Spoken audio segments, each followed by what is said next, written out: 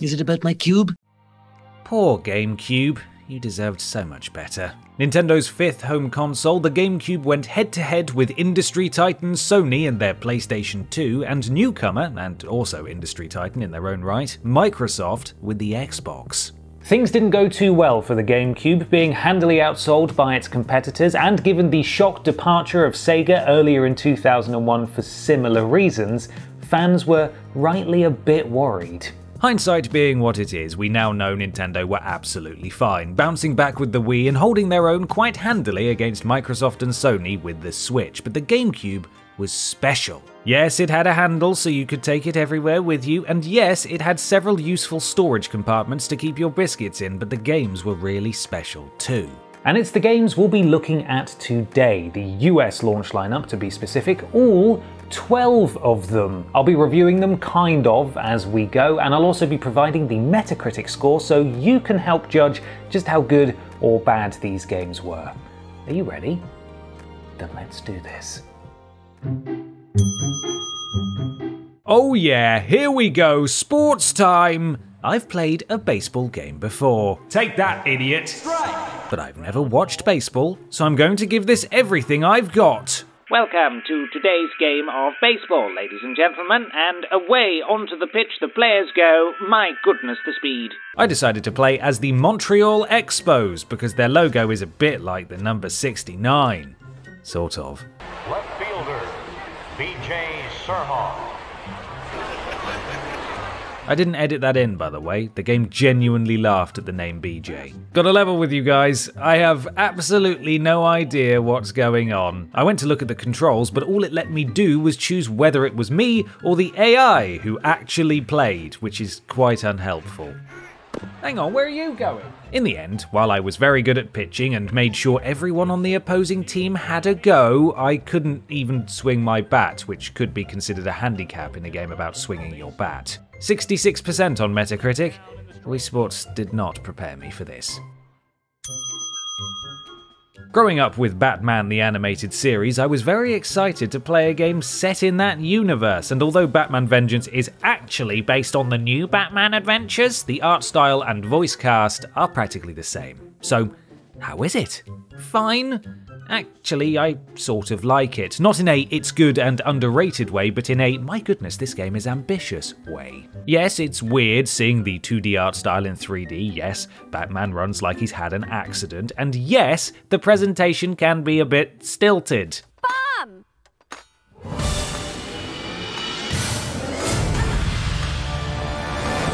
But on the whole, there's a lot of nice ideas here. Batman can stealth around, bat cuffing enemies, there's a rudimentary glide mechanic, batarangs and grappling are possible if you can wrestle with the strange first person controls, and hell, when the combat goes 1v1, it feels quite cinematic, in a way.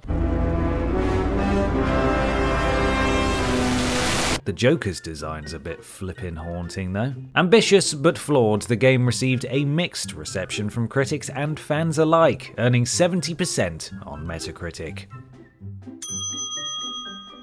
Loosely based on The Simpsons Road Rage, Crazy Taxi was the. I'm joking, please don't hurt me. Crazy Taxi was the pioneer of arcade passenger delivery, essentially tasking you with ferrying folks around town as fast as possible and completing as many jobs as you can before the timer runs out. The game was an arcade hit for Sega before being ported to the Dreamcast. Sadly, the Dreamcast didn't uh, go too well, so it made it onto other platforms too. Choosing from four playable characters, including Cena. The game's at its best when you're flying downhill with the iconic soundtrack blaring, replaced here for legal reasons by a song called Smoked Kielbasa Polka. The game's fairly notorious for including a number of licensed brands, with passengers asking to be dropped at the KFC or Pizza Hut, an ugly advertising habit gaming has thankfully dropped in the years since. While many outlets praised the game for how much fun it was, Crazy Taxi received a surprisingly disappointing Metacritic average of 69%. Nice. While many extreme sports aimed to ape the success of the radical skater boy Birdman's undefeatable pro skater series, few succeeded. Enter Dave Mirra Freestyle BMX 2, which while not on the same level of quality as the Birdman's games, definitely had it where it counted. One quick point though, why do all of the playable characters' photos look as though they're taken from active arrest warrants? Anyway, the game features big maps with plenty of objectives to complete before a timer runs down, certainly familiar to fans of a certain skateboarding series, and the controls are mostly the same too. It also lets me play as Slim Jim. I never knew anything about Slim Jims besides Randy Savage's contractual love for them. so it was nice to finally be in the loop.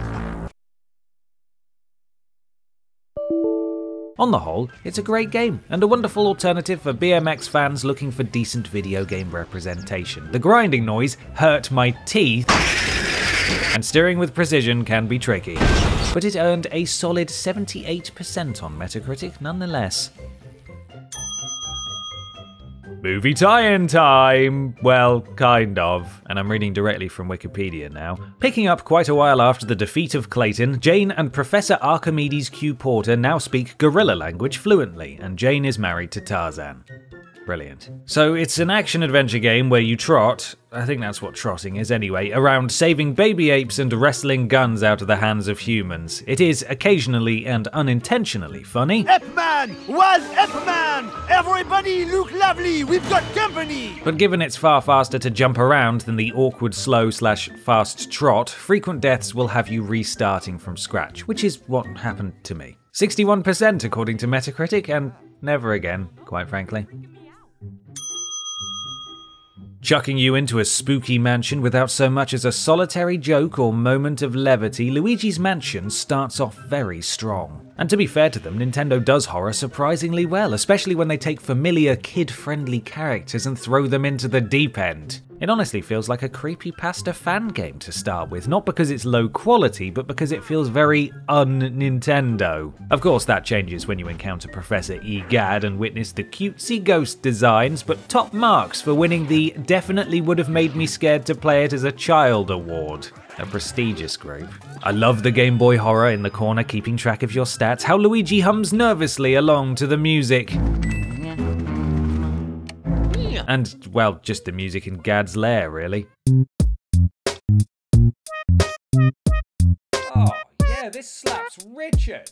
With a rough goal of destroying the mansion and saving Mario, brave boy Luigi uses the torch and poltergust vacuum cleaner in tandem to stun and suck the ghosts in that order. I really liked it, and so did fans, but it underperformed with critics, earning 78%. Thankfully, Vocal Players forced the Big N to turn it into a series, with Luigi's Mansion 3 released on Switch in 2019.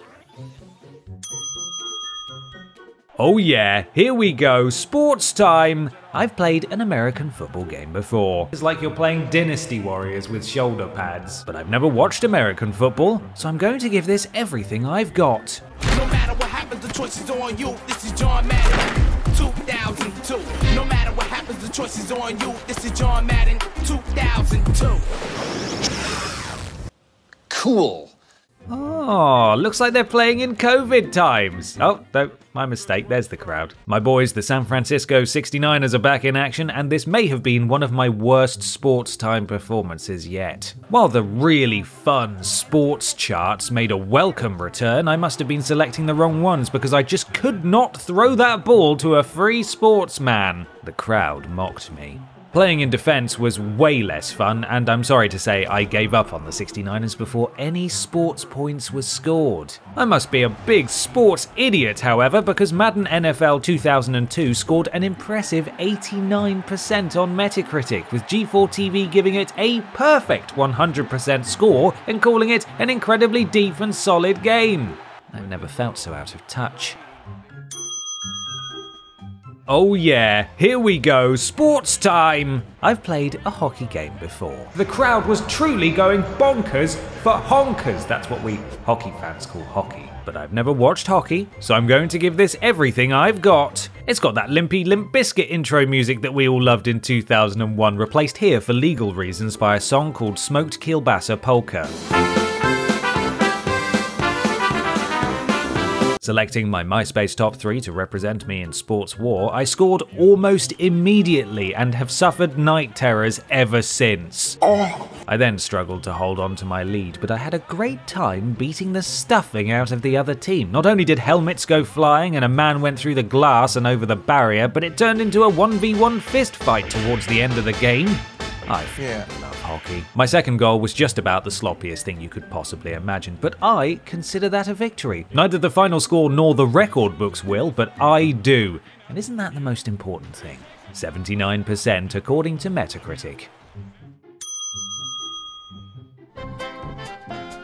The LucasArts logo is hundreds of stormtroopers dancing with yellow signs, confirmed. I knew that fan theory was onto something. Star Wars Rogue Squadron 2 Rogue Leader was a GameCube exclusive, and it was a launch game, and it was really, really good. Essentially tasking you with playing through various memorable moments and some others from the original trilogy, Rogue Squadron 2 really does a phenomenal job of making you feel immersed in Big George's house of star wizards and aliens. The opening mission attacking the Death Star is hectic, with a collage of sound and explosions all around you, and when it came time for that iconic trench run, original dialogue from the films is piped in as the music swells. The force is strong with this one. I did manage to single handedly put an end to the rebellion, though. Darth Vader would be proud. Nintendo World Report called it a visual and oral masterpiece, saying the game has all the bells and whistles you'd expect from a next generation game. Unsurprisingly, the game scored extremely well and earned an impressive 90% average on Metacritic.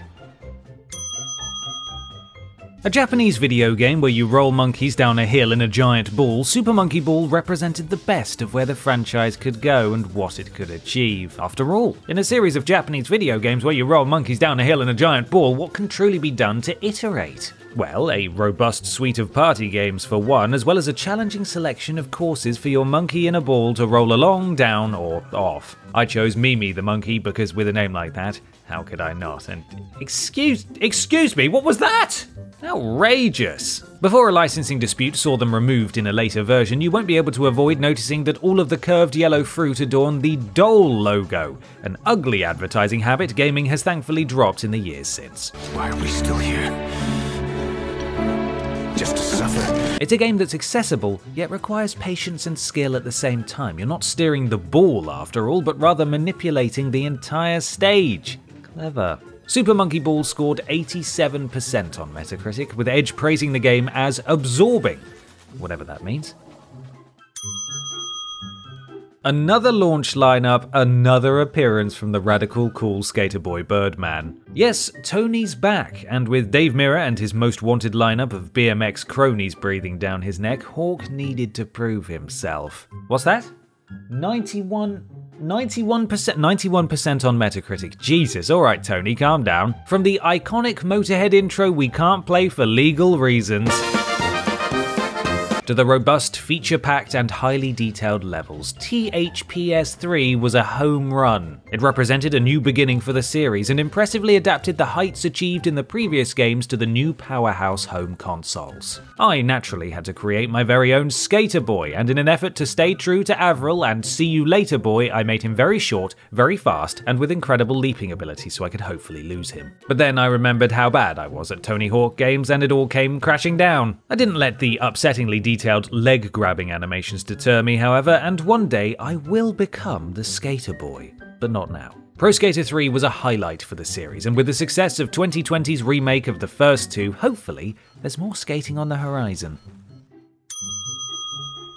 A sequel to 1996's Wave Racer 64, Wave Race Blue Storm is a jet ski racer game, and a lovely one at that. First off, I'm a big fan of this main menu with its water plop noises. Oh, delightful. The character select screen is full of your average racing stereotypes. Look, they even have the fit American, complete with dumbbell avatar, and the fat American with a double cheeseburger as an avatar. Got to play as that guy. What I expected. It's a pretty game, with water physics actively making the goal of passing the buoys, or buoys if you want to get North American about this, a real challenge. This shifting water positioning changes up which shortcuts are available too, making each race feel dynamic in an impressive way. AI can be brutal, and you can actively skip boys at tactical times for cheeky shortcuts as you get to miss a number of them before being disqualified, but it's colourful and fun, and was a great showcase of the power of Nintendo's new machine. 80% on Metacritic. And that 80% brings the total average score of the GameCube's launch lineup to 78.2%. And so there we have it, all of the GameCube's launch lineup reviewed, sort of. Which ones were your favourites? Do you even have a favourite? I don't know. Let me know in the comments below. Why not also like this video and subscribe to the channel? And you can even follow me on Twitter to keep up to date with all of these playing every launch games videos. There's going to be more. I promise there will be more. Thank you so much for watching. Look after yourselves, and I'll see you next time. Bye, everybody. Bye.